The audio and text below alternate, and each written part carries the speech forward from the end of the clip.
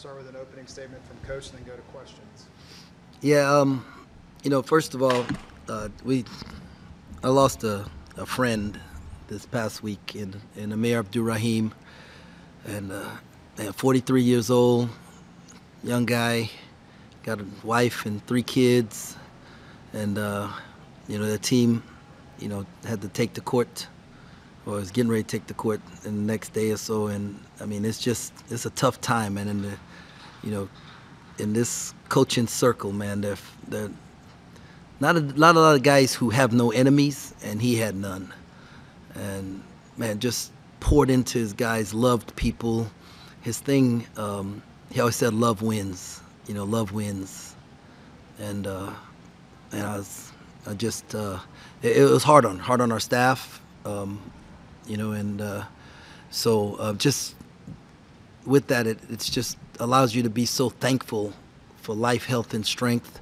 You know, to be able to do this thing that we love with people we love in a place we love, and um, you know, we, we'd love to play perfect basketball and win every game, man. But at the end of the day, man, this thing is about relationships, right? And uh, loving people and yeah, just just helping people to be the best version of themselves. So I just would like um, Amir's family to know that we are praying for them and we are here for them. We will support them in any way that we can. So, thank you.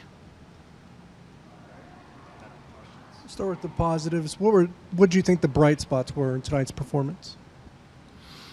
Um, you know, when we got to the paint, uh, we were effective. You know, 1.45 OER. Um, uh, we just didn't do it enough. You know, 29 possessions with a paint touch, 17 without. Um, you know, I thought there was spurts there where we were active defensively and was able to get out in transition and move the ball. In practice, well, we've been a, I think 73 percent of our made shots were assisted in practice in 30 practices, however many we've had, and uh, you know, today in the first half, um, I thought we just dribbled too much, you know, and uh, felt like we could beat each guy one on one instead of playing together, and and that's when we're best when we're assisting each other and getting buckets and moving the basketball, and so, um, but you know, uh, it's going to be a work in progress. Shoots 13 threes. Did you have a problem with any of them? No, um, I, I, you know, like I say, I say this all the time. Like coaches want guys to shoot 40% from three, but they can't live with the six misses, right? And so he was two for nine in the first half, but he was two for five in the second half. I think he's a two for five shooter. I think he did a better job of taking, uh, being more on balance. Like he hit his first two, and then he didn't fight for his feet anymore. He just felt it was going to be his night and it was going to go in. And, and, you know, so what he has to do is make sure that he focuses and concentrates and uses the right mechanics and, you know, fights for his feet so he's on balance. And when he does that, he's a 40 plus percent uh, three point shooter. We didn't get to see Max tonight. What's what's he dealing with? Yeah, uh, he had a little uh, a toe injury. Um, it's not anything serious, but it wasn't worth it uh, to to risk it was better to let him like rest. And uh, uh, he's a good player. You're gonna like watching him. You just break down what you liked about Coleman tonight as well?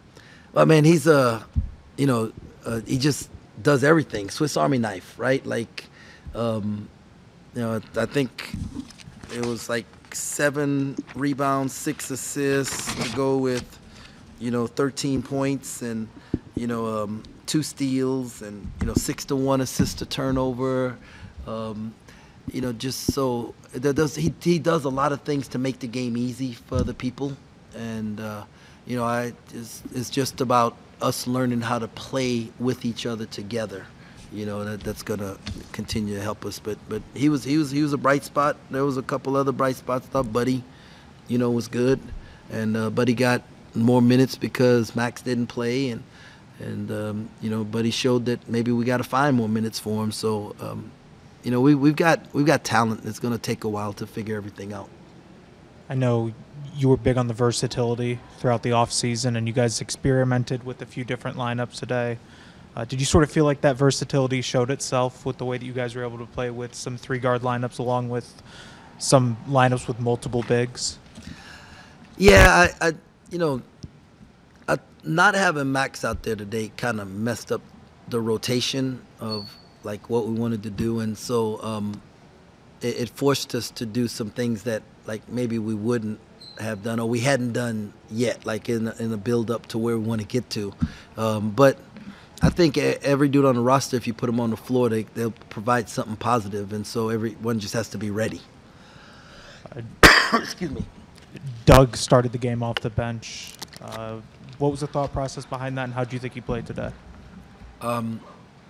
You know, just coach's decision on that one. Um, you know, Dug's a talent, and uh, he's learning how to be a point guard and how to lead, and that there's so much more to being a point guard than just dribbling and you know passing, but like running a team, and um, he's embracing that, and uh, uh, I think he's still. Um, he still allows the ball going in the hole to affect him on the other end and in the other things. And so um, we just got to help him to continue to grow. But he's he, he's he's he's a talent, and I, you know I, I, he's going to be a major part of us being successful this year. On that same note, I guess C.J. Jones started in his place. What I guess did you see from him and and in leading the offense and, and yeah, playing it's not it's not position? starting in his place. Right, CJ started. He's been our best point guard. He's uh, he has an incredible assist to turnover ratio uh, in practice, and again, you saw it today. He gets guys shots. He can defend the ball and keep it out of the paint. Uh, you know, he he can rebound. His at six five, his length provides a lot uh, for you, and and he's a willing passer. He just gives it up. You know, just like ball comes out of his hands easy. Makes he's making the right play. So um, they can play together. He can play by himself. You know, I mean, and uh, so yeah, C- C- CJ's earned where he's at. He's it's not like in place of. Coach, what kind of strides have you seen Buddy make since a year ago? conditioning, his conditioning, and then his attention to detail. You know, it, it helping, and so um, was obviously conditioning has to continue to get better because he cramped up a little bit in the second half, and so. Um, but that those are the two biggest areas. Is uh, Mobi a redshirt candidate for you guys? When not think about redshirting anybody right now, um, Mobi's father was ill, and he had to go home uh, for five days.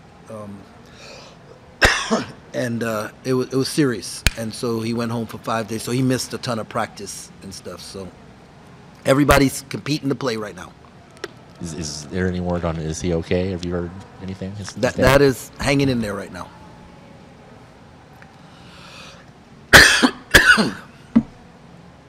we good? Hey, thank you guys. Uh, he's. Uh,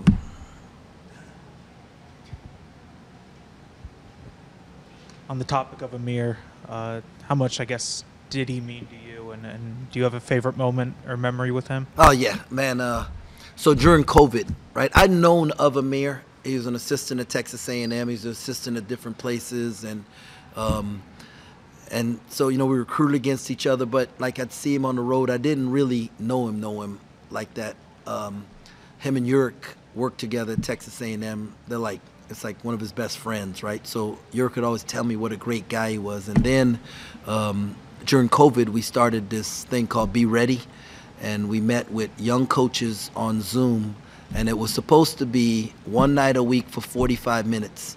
The first night we met, you know, when Zoom was like free for 45 minutes or whatever, uh, we got bumped off like four times, right? So we was on there for almost four hours, and then it went to two nights a week, and for like six to months of COVID, like it was crazy. We was on there two, at least two nights a week, uh, for four hours, bringing on guest speakers, coaches, talking about what was going to. And you know, Amir was uh, the the coach at head coach at Kennesaw State, so he, and he was on there, and he was just pouring in the guys. And we had older coaches mentoring younger coaches, and you know, we did mock interviews and we did all kind of things, man. And uh, he was just he gave so much of his time and as a head coach during COVID, trying to figure out how he can practice with his team. How you know everybody's trying to get an edge during that time, and and he was just giving and giving and giving, man, and uh, just so so wise beyond his years, and uh, so caring, man, and I, I I learned so much from him during that time uh, while I was an assistant at Baylor doing during that COVID time, and uh, so thankful to Alvin Brooks the third and and Yurik and and Amir for all they poured into me and to the, a bunch of other young coaches during that time. So appreciate you asking that.